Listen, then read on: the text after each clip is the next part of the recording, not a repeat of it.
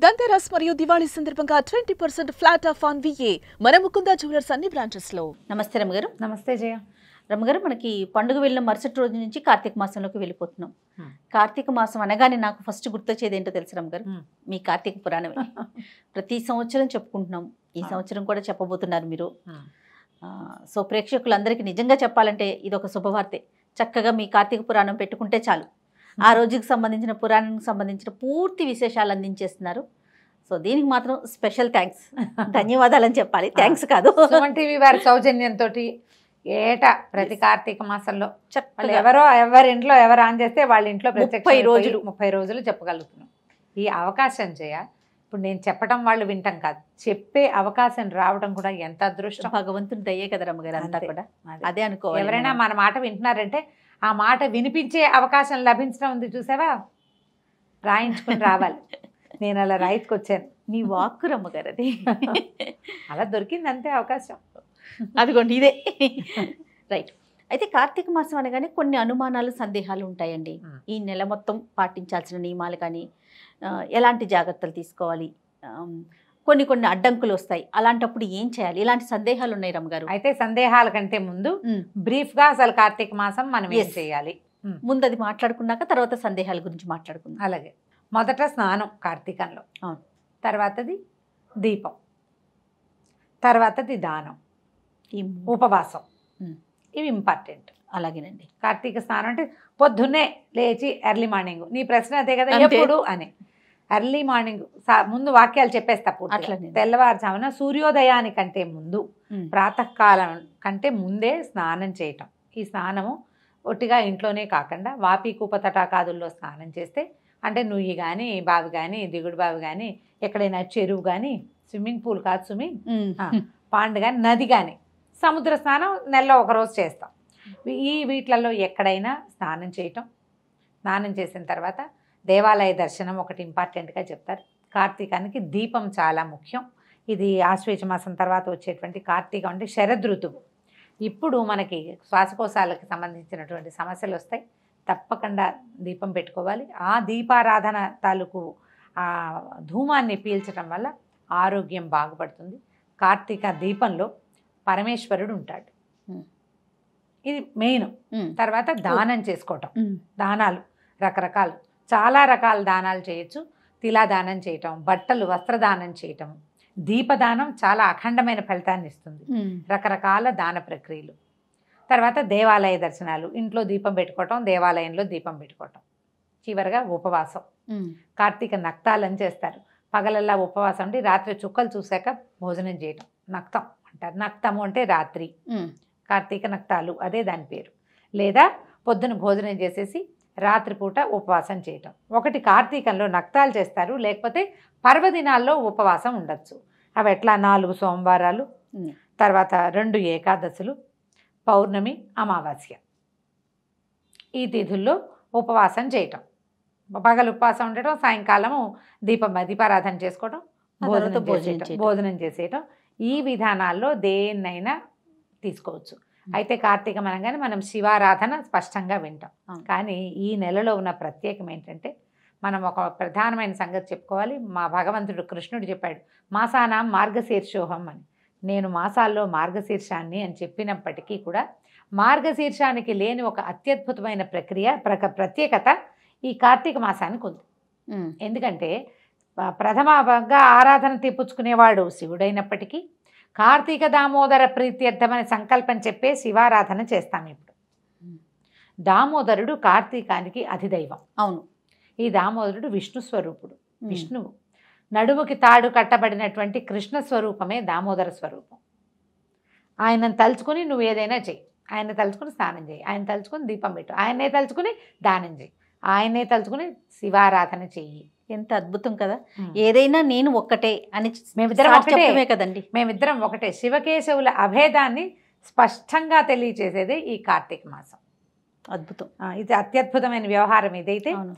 ఈ శివుడు శివారాధన శివలింగానికి శివారాధన చేస్తూనే విష్ణు స్వరూపమైన సాలగ్రామ ఆరాధన చేయటము సాలగ్రామాన్ని దానం చేయటము కార్తీకంలో విశేషమైనది ఈ నెలలో విష్ణువుని తులసితోటి పూజించటం. తులసితో పాటు ఉసిరి చెట్టును కూడా ఉంచి ఇద్దరిని రెండింటిని కలిపి పూజించటం ఇట్లా. తులసి పూజ కూడా చాలా ప్రాధాన్యతని సంతరించుకుంటుంది చూడు శివప్రీతి కోసం అభిషేకాలు చేస్తూ విష్ణు ప్రీతి కోసం తులసి పూజ చేసుకుంటాం. దీపాలు తులసి దగ్గరే పెడతాం ఇలా శివకేశవుల ఇద్దరి ఆరాధన కుదిరేటువంటి ఈ మాసంలో ఏదైనా ఒక్క రోజైనా ఉపవాసం ఒక్క రోజైనా దీపారాధన ఒక్క వస్తువైనా దానం చేయటం ఒక్క రోజైనా నదీ స్నానం చేయటం ఒక్కసారైనా దేవాలయానికి వెళ్ళటం కూడా నెలంతా చేసిన ఫలితాన్ని ఇస్తాయి పైగా సంవత్సరంలో ఉండే పన్నెండు నెలలు పదకొండు నెలలు ఒక ఎత్తు ఈ ఒక నెల ఒక ఎత్తు ఎందుకంటే ఈ నెలలో ప్రతిరోజు పర్వదినమే. ఏ రోజైనా ఆరాధన చేసుకోవచ్చు. ఈ తిథిలో కొన్ని ప్రత్యేక తిథులు ఉన్నాయి. ఏ తిథికి ప్రత్యేకత లేకపోయినా కూడా నువ్వు పూజ చేసుకోవచ్చు. అది కూడా నెల చేసిన ఫలితాన్ని ఇస్తుంది అంత ప్రత్యేకమైన మాసం కాబట్టి కార్తీకం మీద చాలా ఆసక్తిగా ఉంటుంది. మనం పైన చెప్పుకునే వ్యవహారాలన్నీతో పాటుగా పురాణ శ్రవణం అనేది ఒక పెద్ద వ్యవహారం. అవునండి. ఈ పురాణము ఎవరైనా చెప్తుంటే వినొచ్చు స్వయంగా చదువుకోవచ్చు. పైవేవి చేయలేకపోయినా. ఏవి దీపము దానము స్నానము వ్యవహారాలు ఏమి చేయలేం. అనారోగ్యం. ఆరోగ్యం సహకరించకపోవచ్చు. ఏదైనా గర్భవతులు చంటి పిల్లల తల్లులు. ఇళ్ళ ఇంట వంట లేదు ఎవరు చెయ్యరు. మన సంప్రదాయంలో లేదు. అయినా కూడా పురాణం వినొచ్చు. దానికి ఎటువంటి అడ్డంకులు ఏ ఆటంకాలు లేవు. ఇవన్నీ చేసిన వాళ్ళకి ఎలాంటి ఫలితం లభిస్తుందో పురాణ శ్రవణం చేసిన వాళ్ళకి కూడా అంత ఫలితం లభిస్తుంది. ఇప్పుడు ఇన్ని లక్షల మందికి పురాణాన్ని వినిపించే వాళ్ళ దాకి ఏం లభిస్తుందో చెప్పు నువ్వు. మహాద్భుతం కదా రమ్మగారు. ఇంకా. మాటల్లో చెప్పలేరేమో బహుశా అంతే. కాబట్టి ఈ వీటిలలో ఏదైనా చేయొచ్చు. ఇది ఓ టోటల్గా కార్తీక మాసంలో మనం ఆచరించవలసింది. ఇంకొక ఫైనల్ టచ్ ఏంటంటే కార్తీకంలో నది స్నానం ముఖ్యమైనది సముద్ర స్నానం చాలా అద్భుతమైంది. దీంతో పాటుగా వనభోజనం ఒకటి చాలా ప్రముఖమైంది. వనభోజనానికి ఎవరైనా పిలిస్తే నిరాకరించకుండా చక్కగా వెళ్ళండి. ఏమైనా ఎక్కువ ఔషధ వృక్షాలున్న ఫామ్ హౌసుల్లోకి వెళ్ళగలిగితే ఇక మీ అదృష్టం అది. అంతే. అలాంటి అవకాశం లభించడమే అదృష్టం. అందరం కలిసి వెళ్ళి భోజనాలు చేసి తంబోలా ఆడుకోవడానికి మాత్రం కాదు అది. ఎందుకంటే మనం ఇన్ని వృక్షాలు ఉన్న చోటకు వెళ్తే ఆ ఎక్కువ ఆక్సిజన్ని పీల్చగలగటమే మన అదృష్టంగా భావించాలి. చెట్ల కింద కూర్చుని సామాన్యంగా నేల మీద ఆకుపరుచుకుని అన్నం తినడం. భగవంతుడు ఈ అవకాశం ఇచ్చాడు. ఇప్పుడు చాలా పరిస్థితులను గడిచొచ్చాం మనం. అవును. అబ్బో ఇప్పుడు ఈ సంవత్సరం హాయిగా తినే అదృష్టాన్ని కల్పించాడు. ఒకసారి భగవంతుడికి ఒక నమస్కారం చేసుకోండి. ఉసిరి చెట్లున్న తోటల్లోకి వెళ్ళగలిగితే మంచి ఆక్సిజన్ లభిస్తుంది. ఈ నెలలో ఉసిరి చెట్టులో కూడా అపరిమితమైన ప్రాణశక్తి ఉంటుంది. అందుకని ఉసిరి చెట్టు తప్పకుండా ఉండాలి అని చెప్తారు. పిందెలు పూత అవి ఉన్న ఉసిరి చెట్లు అయితే ఇంకా మంచిది. తప్పకుండా. అయితే మరి కొన్ని సందేహాలు ఉన్నాయండి ఎవరైనా చనిపోయారనుకోండి కార్తీక మాసం వచ్చింది. సంవత్సరం లోపే కార్తీక మాసం వచ్చింది. వారు పూజ చేసుకోవచ్చా? దీపం పెట్టొచ్చా? అంటే ఇప్పుడు సంవత్సరీకం లోపల నిత్య దీపారాధన ఎవరైనా చేసుకునేది. మామూలుగా చేసుకుంటాం. ఓకే. చేసుకోవచ్చు. దీపారాధన చేసుకోవచ్చు. ఒకసారి ఎక్కడైనా దేవాలయంలో నిద్ర చేసి అవును. తర్వాత దేవాలయ దర్శనానికి వెళ్ళొచ్చు. కాకపోతే పర్వదినాల్లో పూజా విధానాలు చేయరు. సంవత్సరం లోపే ఇంట్లో దీపం దేవాలయ. దర్శనానికి వెళ్ళొచ్చా వెళ్ళొచ్చు వెళ్ళొచ్చు. ఏవో కొన్ని కమ్యూనిటీస్లో అది ఏడాది పాటు గుళ్ళోకి వెళ్ళకూడదనే నియమం ఉంటుంది కానీ అలా చెప్పటం లేదు జయ. కొండలు ఉన్న ఎక్కే ఎక్కే చోటికి వెళ్ళకూడదని ఒక సిద్ధాంతం చెప్తారు. కొండలు ఎక్కే దేవాలయాలకి వెళ్ళకూడదు అని. మేము పాటించలేదు చెయ్య మేము మా పురోహితుని అడిగితే మొక్కులు తీర్చుకోవద్దు కానీ దేవాలయ దర్శనానికి వెళ్ళమన్నారు. ఓకే. ఇప్పుడు కూడా మనం ఏడూర్లు ఈ సంవత్సరీకాల లోపల మీరు ఏదైనా దేవాలయానికి వెళ్తే గోత్రనామాలు చెప్పి అర్చన చేయించుకోకూడదు.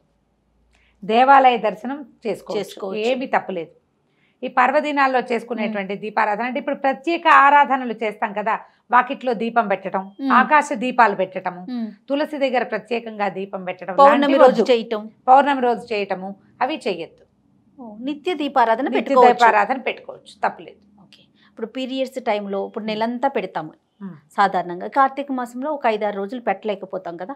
అప్పుడు ఏంటండి? ఏమన్నా ఇబ్బంది అనిపిస్తుందా? ఇబ్బంది? మానేస్తాము. ఒకవేళ మీకు అవకాశం ఉండి మీరు పక్కన కూర్చుని ఇంట్లో ఎవరైనా పెట్టేటైతే పెట్టుకోవచ్చు. ఒక మీకు అవకాశం లేదు మీరు ఇంట్లోనే ఉంటారు. ఆ ఐదు రోజులు మానేయండి. ఐదో రోజున రెండోసారి నాలుగోసారి రోజున స్నానం చేస్తారు. ఐదో రోజున కూడా మళ్ళీ తలస్నానం చేసి అప్పుడు దీపం పెట్టుకోవచ్చు. ఏమైనా చాలా శారీరక ఇబ్బందులు గనక ఉంటే మీకు చికాకు అనిపిస్తే మీ. మనసుకే సుమి? అది. ఒకవేళ చికాక్గా ఉంటే ఆ రెండు రోజులు ఇంకో రెండు రోజులు మానేసుకోండి. తర్వాత దీపాలు కంటిన్యూ చేయొచ్చు. ఈ పోయిన ఏడు రోజుల పుణ్యాన్ని నేను ఎలా సంపాదించాలని దిగులు పడద్దమ్మా. ఎవరికి ఏది ప్రాప్తమో ముందే చెప్పుకున్నాం కాదు ఇక్కడ రాసుకొస్తాం మనమని. కదా? కాబట్టి వస్తుంది వచ్చే సంవత్సరం ఫినిష్ చేసుకుంటాం. అయినా కార్తీకంలో ఒకరోజు దీపం పెట్టినా చాలు ఒకరోజు స్నానం చేసినా చాలు అని చెప్తున్నాం పదే పదే చెప్తున్నాం. ఇది కార్తీక్ పురాణంలో చెప్పింది. మన మాట కాదు పురాణంలో చెప్పబడిన మాట. అదే ఋషులు ఆల్రెడీ మనకి చెప్పారు. అదే? కదా ప్రమాణం మనకి. కాబట్టి పోయినాయి రోజులు అని దిగులు పడి బాధపడద్దు కుదిరితే చేసుకోండి కుదరకపోతే మానేయండి. సత్యనారాయణ వ్రతాలు చేసుకుంటారు కేదారేశ్వర వ్రతం చేసుకుంటారు కార్తీకంలో. ఏకాదశుల్లో చేసుకోవచ్చు. మీ మీ ఓపిక. ఈ రోజు తప్పించి ఇంకో రోజు చేసుకోండి అంతే. ఓకే. నూనెని ఎలాంటి నూనె వాడాలి రమ్మగారు? ఇప్పుడు నెల రోజులు మనం దీపం పెట్టుకుంటాం. తులసి దగ్గర పెడతాము కొంతమంది గుమ్మాల దగ్గర కూడా పెట్టుకుంటారు కదా? ఎలాంటి నూనె మంచిది? ఎలాంటి తైలం? దేవుడి దగ్గర అయితే ఆవు నెయ్యి. లేదా ఆవు నెయ్యి రోజు పెట్టలేము అనుకుంటే పర్వదినాల్లో ఆవు నెయ్యి. వాకిళ్ళల్లో నువ్వుల నూనె. నువ్వుల నూనెలో దీపం నూనె తేవద్దు. అంటే. దీపం నూనె అని ప్రత్యేకంగా కనపడుతుంది. అది పూర్తి స్థాయి నువ్వుల నూనెగా మాత్రం భావించబడట్లేదు. కాదు. అవును. కాబట్టి మంచి నువ్వుల నూనె ప్రశస్తమైన నూనె పడుకోండి ఇళ్ళల్లా పెట్టకండి దీపాలు. ఒక్క దీపమే పెట్టుకోండి తులసి దగ్గర. చాలు. లీటర్ నూనె నెలకు వచ్చేస్తుంది మనకి. అవును. చాలా పెడితే బోళ్ళంత నూనె కావాలి బోళ్ళు ఖరీదు అని బాధగా ఉంటుంది. ఇబ్బంది ఇబ్బందులు ఎవరికైనా ఉంటాయి కదా. ఆర్థికమైన ఇబ్బందులు తప్పవు. ఆలోచిస్తాం అవును.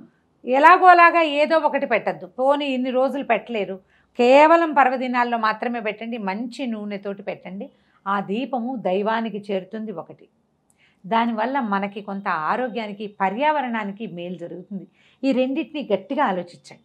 ఇదే ఇంపార్టెంట్. నెలంతా అది ఏదో ఒక నూనెతో దీపం పెట్టడం కాదు. పెట్టిన దీపం సజావైనది కావాలి మనకి. ఎందుకంటే ప్రధానంగా ఇప్పుడు తైలే లక్ష్మి జలే గంగా. అని చెప్తారు. ఆ జలంలో గంగ ఉంటుంది కాబట్టి స్నానం చేయాలి. తైలంలో లక్ష్మి ఉంటుంది కాబట్టి వెలిగించాలి. తైలము అంటే ఏమిటి? తిలల నుంచి తీసింది. వచ్చింది. నువ్వుల నూనె. తర్వాత రమ్మగారు ఇప్పుడు నది స్నానం సముద్ర స్నానం కూడా చేయాలనుకుంటున్నాం కదా. మరి ఇప్పుడు అవకాశాలు ఉండవు. అప్పుడు ఏంటండి? నది? పరివాహక ప్రాంతాల్లో పల్లెటూళ్ళలో ఉండేవాళ్ళు అదృష్టవంతులు. అంతే. పూర్వం అట మనకి ఎక్కడ మాఘ పురాణాల్లోనో కార్తీక పురాణాల్లో కూడా చెప్తారు అట్లా వీళ్ళ ఊరంతా వెళ్ళిపోయి నది ఉన్న ప్రాంతానికి వెళ్ళి అక్కడ నివసిస్తారు. ఈ మాసం ఈ అంతా మాసం అంతా తీర్థానికి వెళ్తారు. ప్రతిరోజు పిల్లల్ని అక్కడికి తీసుకెళ్తారు. దూరం వెళ్ళి పూజ చేసుకుని తిరిగి వస్తారు. అది. వేరే పనులు చేయరు. ఈ పని చేసేవాళ్ళట ఇది వరకు ఓకే ఓకే. మా మా వాళ్ళు ఎవరో ఇద్దరు ముగ్గురు కూడా అట్లాగే చెప్తారు.